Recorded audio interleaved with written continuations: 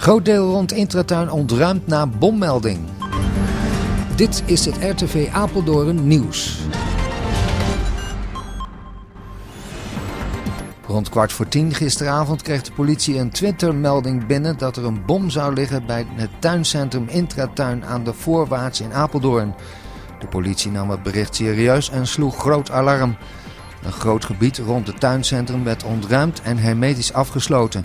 Het Omnisport, de winkels ernaast, het sportcomplex van WSV, als ook het naastgelegen tankstation werden ontruimd.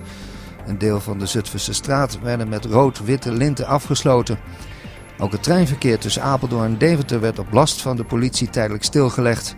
Later kwam bij de politie weer een tweet binnen waarin stond dat het om een valse bommelding ging. De politie doet onderzoek wie de valse melding heeft gestuurd.